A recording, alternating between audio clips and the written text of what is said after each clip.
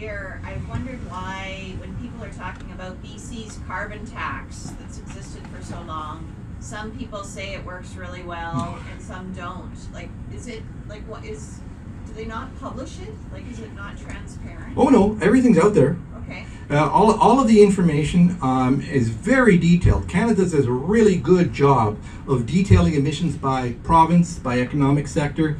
And uh, so, what happened with BC? The carbon tax was introduced in 2008. This coincided with the recession. 2009, 2010, emissions went down everywhere around the globe because of decreased activity. So if you look at 2000, uh, at, uh, from the point of implementation of the BC carbon tax to now, it looks like uh, emissions have gone up under that carbon tax. But that's a skewed way to look at that data.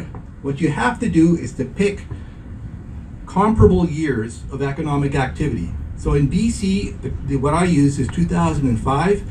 That was a, a year of strong economic performance, and 2015. The carbon tax then has been in place for quite some time. Emissions in BC have gone down by 5%.